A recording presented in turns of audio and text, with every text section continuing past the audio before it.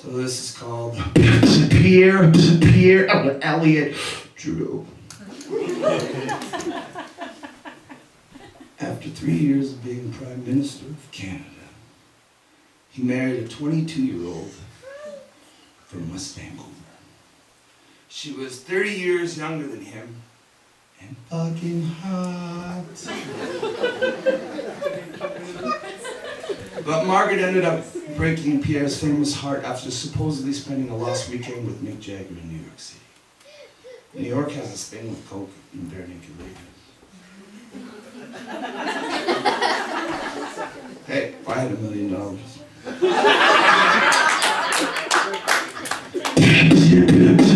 Pierre, Pierre, you're stealing my prayers. Came down the Palmer stairs and your body had to be carried by a black smokestack train back to Montreal to have Castro be one of your pallbearers.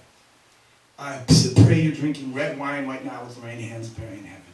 And she's reading you her work never produced in your too short of a lifetime. Maybe she'll even pen a play on your visions of a just society. And if you two kiss behind the pearly gates, I play that bliss as a bass line outlining the chords of a truly great man who finally met his match. Here in eternity's hallway, I have a dance the part of having a woman in every port as ex-lovers plotted their revenge and heated pool on faithfully wounded resort. And Pierre, we can all here collectively imagine how you felt every time you heard the Rolling Stones on the radio. it's funny, but we all sat on both sides of this eternal hallway. And for the man that is famous for the lines, the state has no place in the bedrooms of this nation. We did not exactly pay the favor when his marriage broke up. My friends, we wasted so much time giving a shit what Tiger Woods was doing when he wasn't playing ball. We wasted even more time over a Bill Clinton blowjob.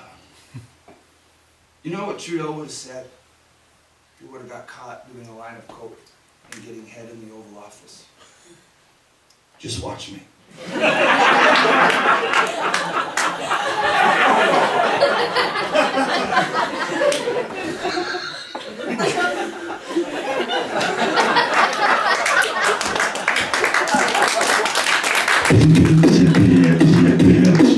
This is not a, a, gossip column. I don't care if Margaret sleep with Keith Richard, Robert Plant, or Jimmy Page. And this is not a put down 20 man here tonight who was dating a woman half his age. This is about a woman with sapphire eyes and ruby Tuesday cheeks and about every man that shuts the fuck up and listens when the woman speaks. You can say what you want about Pierre Elliott Trudeau, and people do. When I perform this from Calgary to Quebec City. But he stood up to America. No prime minister other than Diefenbaker during the Bay of Pigs has done that. As we watched as he pulled out Canadian peacekeepers from Vietnam, which gained him the highest honor in the world. They have Richard Nixon call him a fucking asshole on the Watergate tapes. Which makes me think, are we ever going to have a prime minister rise up and lead us the same way again? His response to the impeached president, I've been called worse by much better man. Mm-hmm. My friends, we are just not the polite nation beside the superpower they're trying to pin on us. Sorry. Sorry. Sorry. Sorry. We were the Underground Railroad's destination from slavery.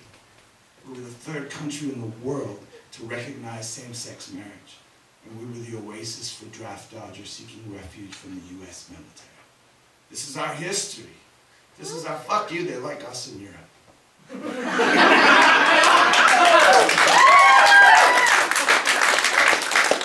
but my friends, we are losing our character.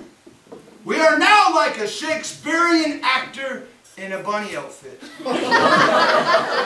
doing TV shampoo commercials. Throwing away health care and drinking off Tim Horton for a special sauce. that is why a 22-year-old, a 22-year-old American soldier can show up on leave in Vancouver and hitchhike to Newfoundland and decide that he doesn't want to return to it for his tour of duty and find himself in Thunder Bay, Ontario, and went looking for refugee status. They can be sent back in handcuffs by the Canadian government and had to be spent 15 months in U.S. military prison.